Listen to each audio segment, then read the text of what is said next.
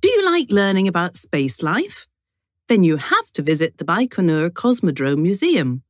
Learn about the life of cosmonauts in space and see spacesuits, helmets, and other things that they used.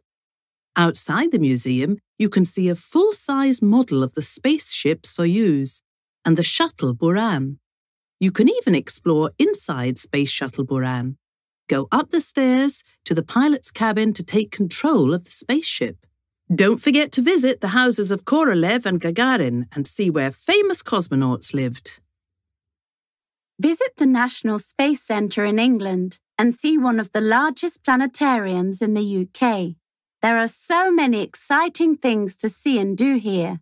You can start at the planetarium, walk through the gallery, and stop off at Mercury, Venus, Mars, Jupiter, Saturn, Uranus, and Neptune.